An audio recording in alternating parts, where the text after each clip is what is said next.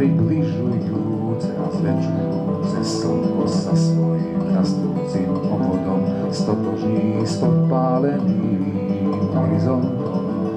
Nadobudnutým zo svietiacej zrenice rozširujúcej sa na gloriolu a z glorioly až na Mandorbu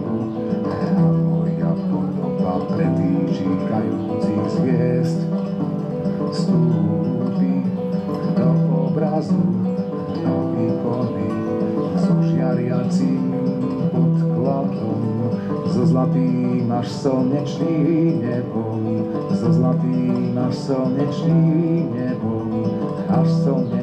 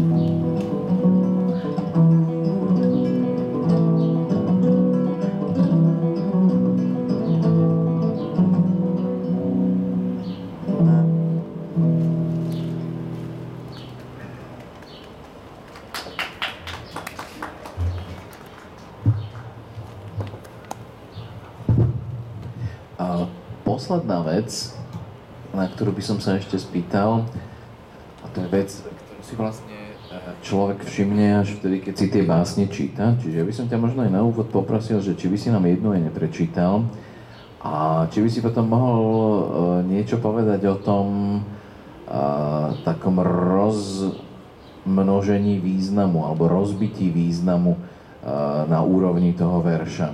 Že ty vlastne ako spochybníš nejakú, nejakú frázu alebo rozložíš nejaké slovo na, na, na dve slova, čiže vlastne ten význam ako keby speje k niečomu, ale uh, ty vlastne z toho urobíš ešte nejaký úplne iný význam. Tak čo by si si ako vybral ako dobrý príklad takejto básne?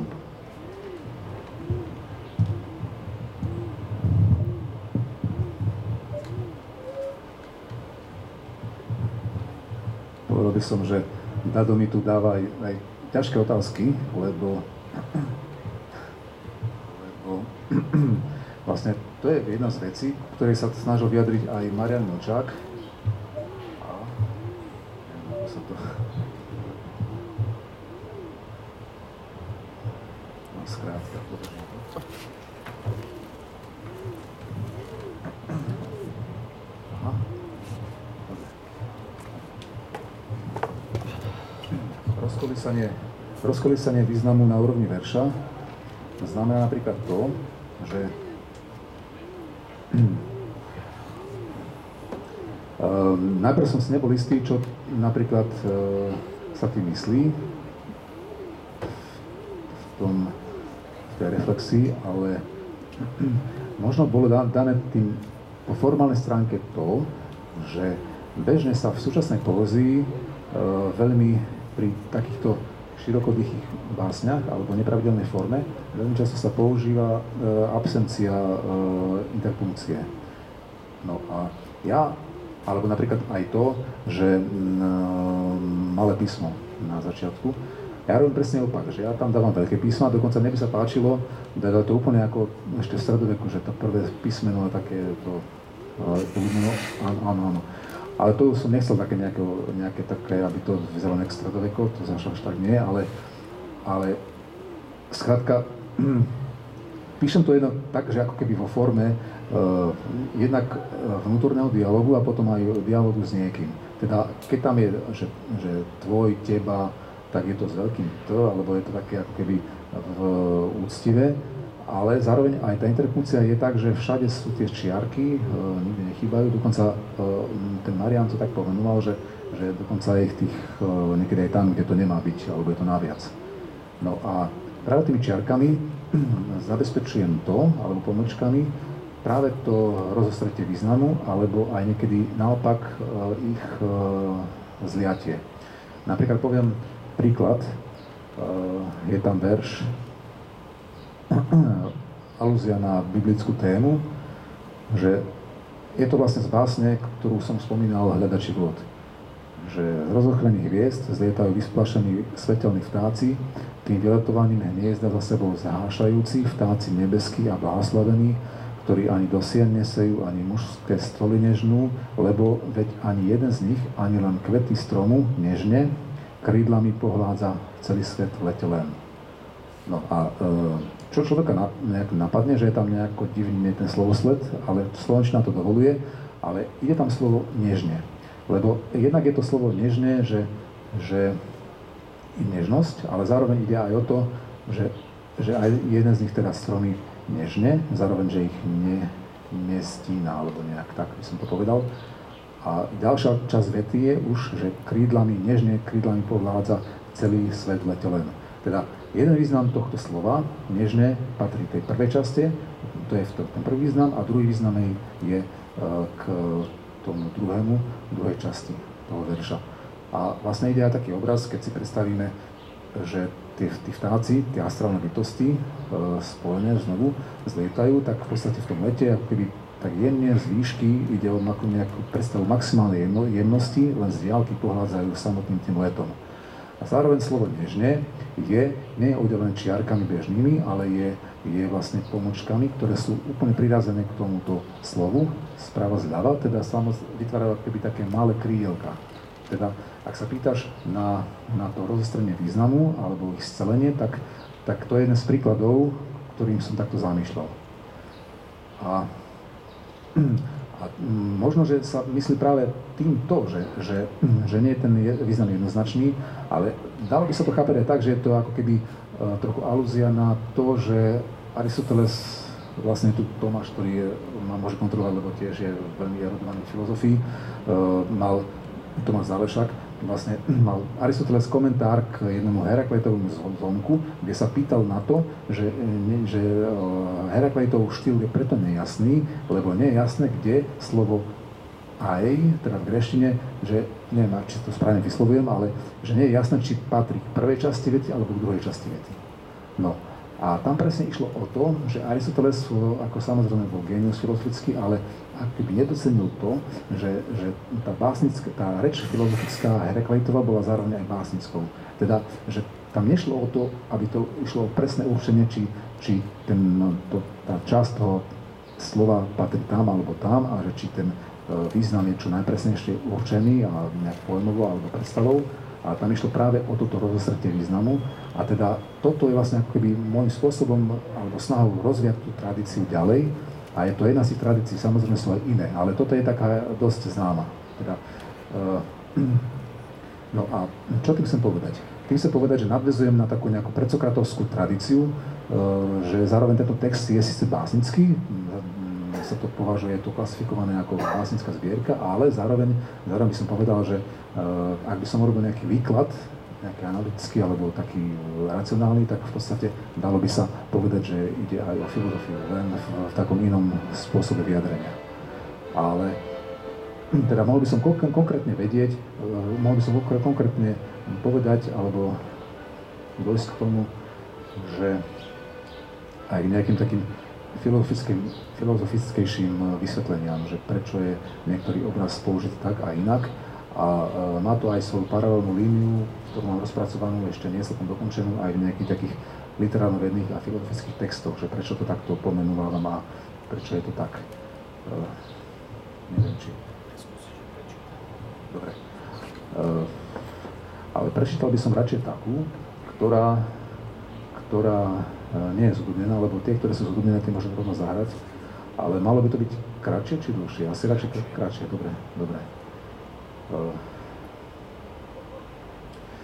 tak prečítam asi túto, o ktorej som aj hovoril. Volá sa Do neba meravo hľadiac v tráve ležiac, za roky sa držiac otrávený. A mali by sme aj oči neustále k nebesiam otvorené, ale keď občas nám do nich zhorá pada prach, zhorených meteorov, zrútených zo zborených zborov a vtedy si pretierame ich zrazu skloňať hlavy pred nesmiernosťou, ako by slziac až plačúc nad neočakávaným preseknutím vo výsosti aj videného temnotou, ako by zároveň smutiac za tým, čo sme v diaľavách videli a teraz sklonení do seba nevidíme.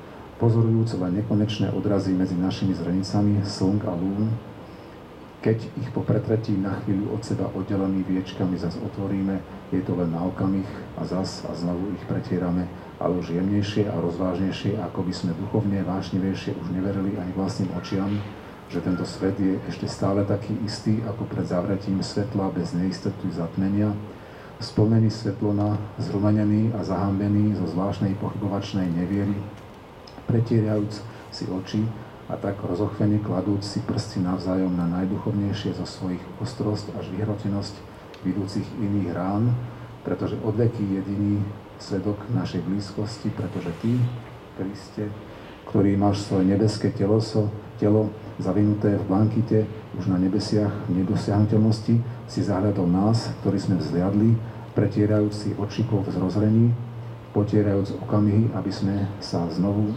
ešte do široka rozhretými zrnicami dohora divili rútiať sa priamo v ústretí väčšnosti.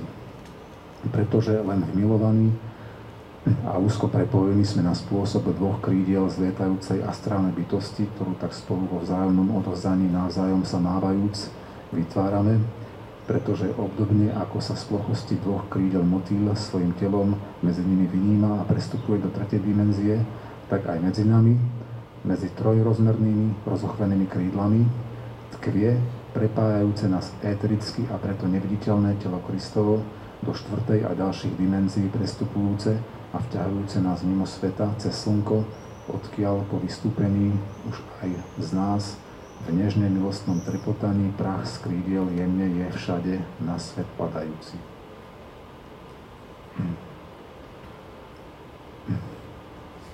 presteren, Zo.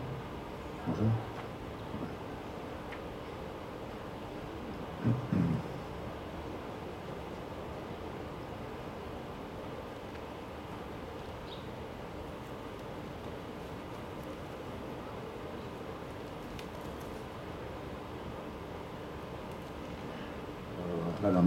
Basen expirosis.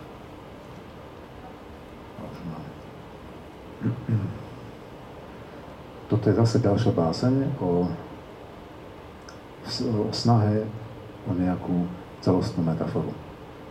Kde predchádzajúca báseň je o takom apokalyptickom pocite, že sa všetko kam na východ temnejúco takmer rúti a nakláňa celá rovina zeme. Kde toto nakláňanie Expirosis je starý mm, grécky motív filozofický, o zháraní a zapadovaní sveta, kde som si to tak nejako vysvetlil, že vlastne to nakláňanie, taký uh, pocit zmaru a nejako trielenia a zvrhávania sa, sa dá predstaviť tak, že, že, vlastne, že vlastne celý svet je akýmsi veľkým plameňom a to nakláňanie je nakláňaním tým sie, tej, tej sviece a potom vlastne to slnko vlastne nezapadá, ale znamená to niečo iné, obraz niečo iného. A ten teraz poviem. Expirosis. Kto vie, kam upalujú oblaky až za obzor, oblaky až za obzor. A kde a ako tak rýchlo nad nami miznú biele zrapy mračien nad horizontom horstiev rozhorené až do červených zôr. Do výšok väčšnosti plynú zápalisté slova tohto nášho vyznania, zmihotania nami prestupených jazykov ohňa dychu svetého, až celá rovina zeme ako hladina vosku pod plameňmi sviet skloniaco vláčne a mekne. Belasí je plynový plameň neba, v závane vekov spomaly krúžiacim zlatým hrotom svetla na konci, ktorý my, ponorení v horiacom vzduchu, z dola vidíme len ako okrúhle, ale v skutočnosti vrcholiace slnko. Klesá k obzoru, keď sa plameň nie vetrom k zemi nachýlenej ohne, to svieca sveta sa kloní k pergamenom. To najvyšší hádže do vysmierneho ohňa výchrom na oblaky trhané kusy svojej veľbásne, čierne prikrývajú nás večer po zotlení, keď už ani my sami nevieme, ako ďalej.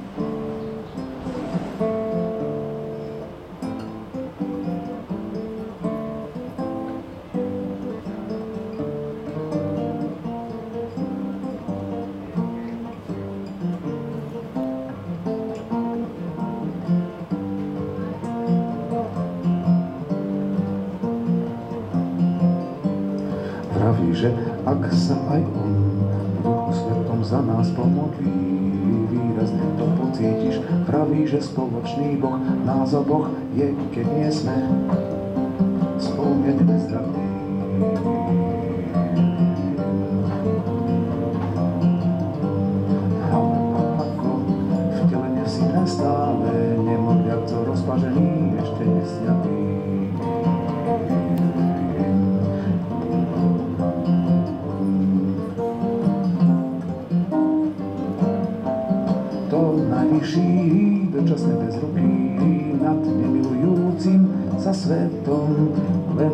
Bezradne rozhodil ruky. Ako prvé hestiel nastávajúcich snúbencov sám do seba jemne zakliesnia, z pravidla ich prsty i dlane, navzájom rozochvieľavané.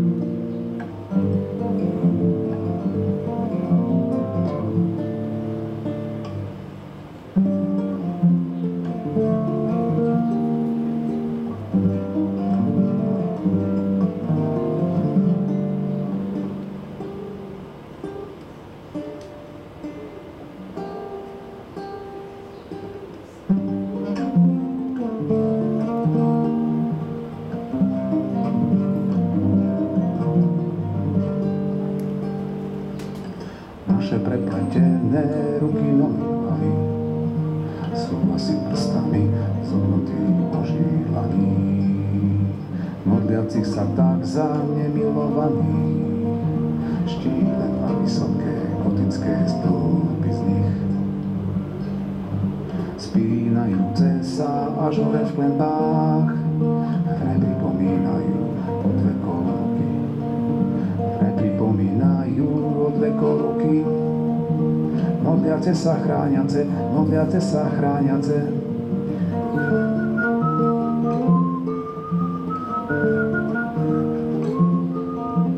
Preto všetci práve milujúci sprostený vín vytvárajú pomyselnú klenbu kopu chrámu.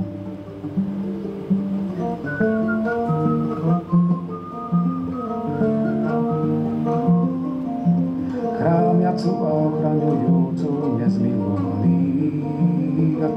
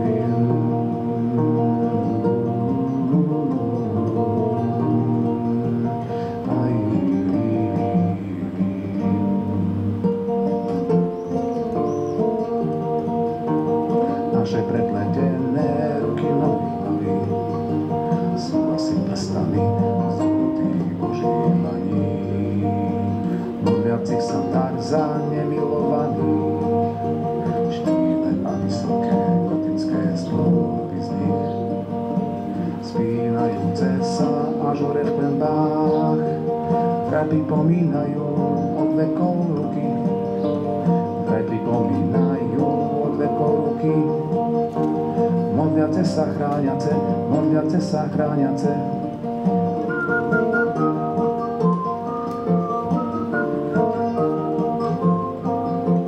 Preto všetci práve milujúci sprostený vín vytvárajú pomyselnú plenbu kopu ránu.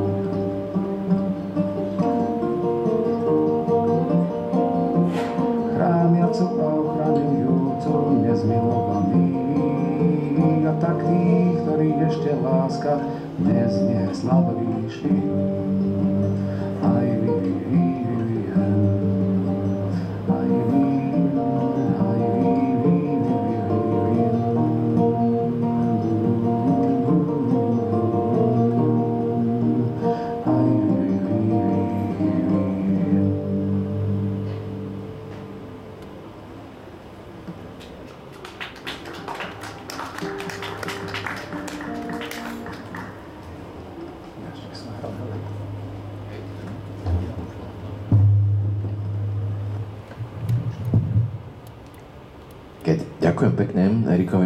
Markovičovi za jeho rozprávanie a predstavenie knižky Ikonicko z preskupovanie slnka. A má tu aj svoje knižky, takže ak by niekto o ne mal záujem, chcel si nechať napísať venovanie, po prípade chcel si tam nechať napísať tie tri opravy, hej, môžeš, môžeš vpísať do knižky. No a poprosil by som ho teda ešte o jednu skladbu na záver.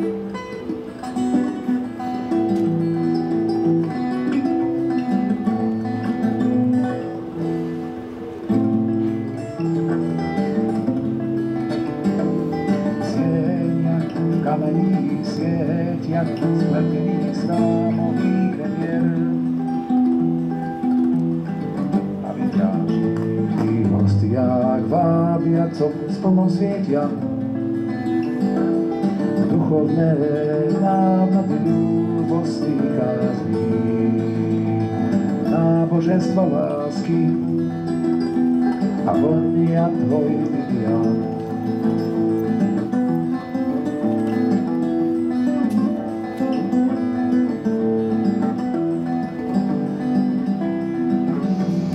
Utekáme tam, lebo len vo vysvietenom kostole sa vraj nesmie ani v najmenšom klamať, aby prehovorila sama najrýchlejšia pravda.